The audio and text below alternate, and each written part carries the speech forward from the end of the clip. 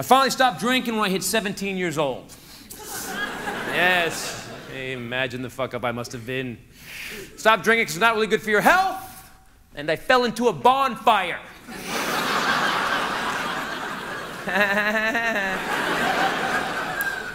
yeah, you're done drinking then. You don't need AA. Falling into a bonfire is a one step program.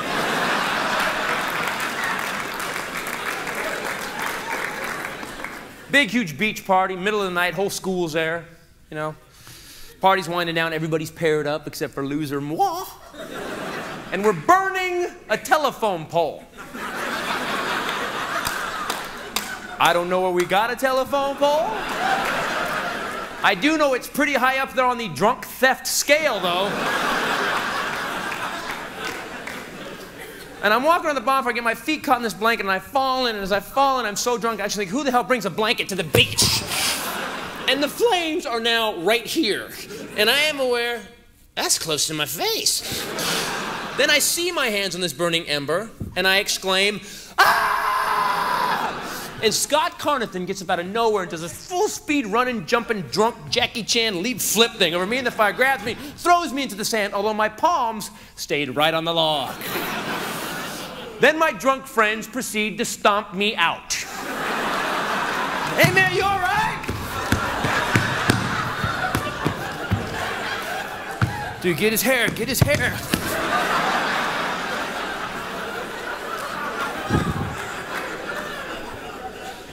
Dude!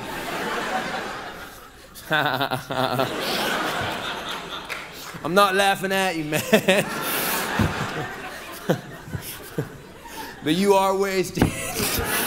hey, sleep it off, man. You gotta drive to Taco Bell. so by now, the whole school has gathered around me because they've seen the steam rising from the beach. And then I'm gonna be the story to tell on Monday. You didn't believe Titus did, man. And they know I need medical attention, but it's way too early to end this party. Tony!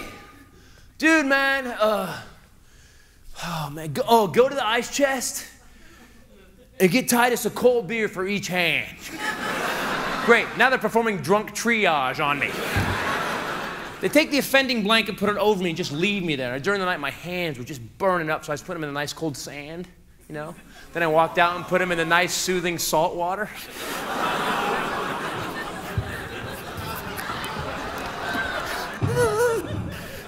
I pass out at shore level, waves lap against my head till morning. 6 a.m. in the morning. My friends wake me up and take me to this emergency center near the beach in Santa Cruz Emergency Center. It was like an emergency shed. There was a doctor, a weed whacker, and a fucking rake. and my friends don't want to be involved with this, this dumbass thing that I did, or the story at all. So before they let me go in to get medical attention, they stop me in the parking lot. Uh, Titus, dude, uh, uh, look, man, uh, shut up, I'm telling him. uh, look, man, uh, oh, oh, we talked about it, and uh, uh, here's what happened. Uh, uh, you're a homeless guy, and we found you on the beach.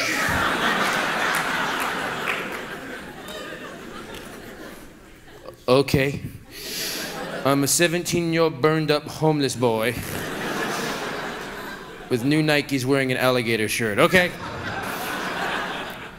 So I go in, and the doctor's pissed off. I'm not the first dumbass teenager he's met in his life, and I got like 12 beers in me from the night before. This man decides to shoot me full of painkiller.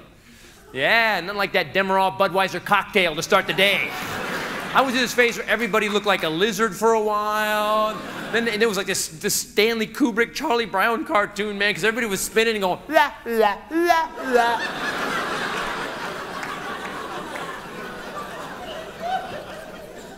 And the doctor finally goes, What happened to you?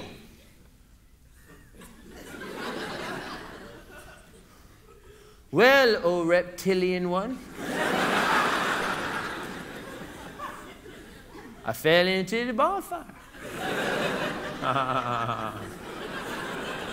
so when you fell in, son, did you breathe in or did you scream?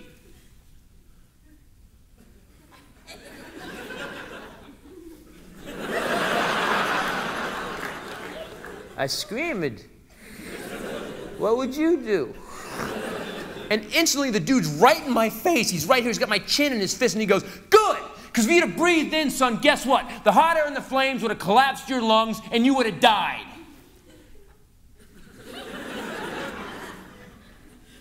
well, now you look like Jesus.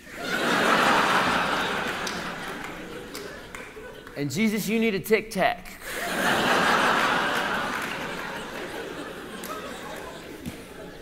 Then the man takes out the stiffest brush I have ever seen in my entire life. Don't puss out on me now.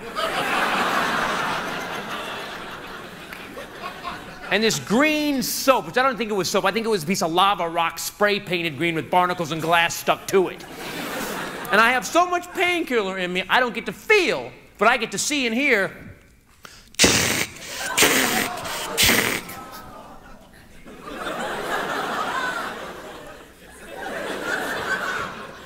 It's gonna hurt tomorrow, huh?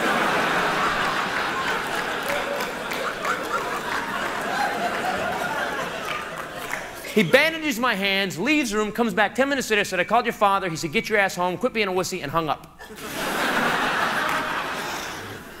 so my Carolyn, Lynn, Pat, fifth stepmother came to get me. And this is the worst trouble I'd been into uh, up to this point in my life. I wasn't even supposed to be uh, uh, like out. I, I, was always grounded. I went 60 miles to the beach, snuck out my window. So on the way home, my dad didn't even know I was gone until he got a phone call from the doctor. So on the way home, I'm so freaked out and drugged up. In the car, I start leaving notes for other relatives. I'm not in military school. Look for the body.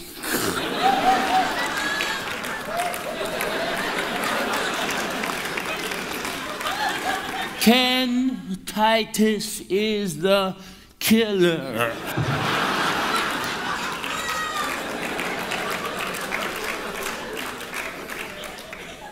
And we pull up in front of the house. My stepmom, you know, really helpful. You and your dad have a nice talk. I have something to do away.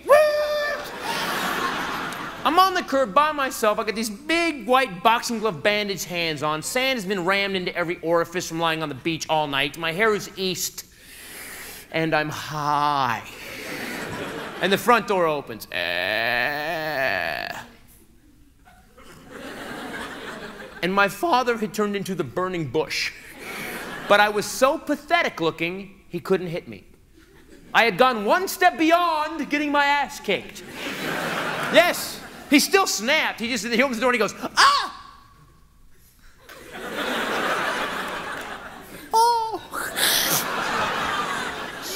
Mother, oh! Oh, oh, oh, oh, oh, Whales must have been off the coast. What the hell is that noise? You hear that? And, and as I walked past him, his head just kept getting bigger and redder. I'm thinking, oh God, if he has a stroke, I'm not grounded. Because I always got grounded. Not locked in a room grounded. Might actually take a battery cable and ground me to an engine block.